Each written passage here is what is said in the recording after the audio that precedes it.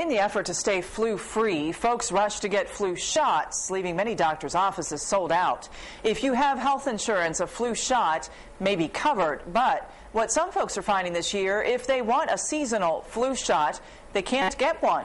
Many doctors' offices have run out of them temporarily.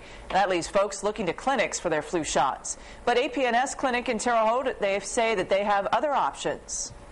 The first thing you ought to do is just check your insurance card. The back of your car, there's a phone number, and the best thing to do is to contact that phone number. They'll tell you what your options are and probably tell you the, what's going to help best for you as far as expenses, your out-of-pocket expenses. Like many doctor offices, AP&S will be getting more orders of flu shots throughout the season.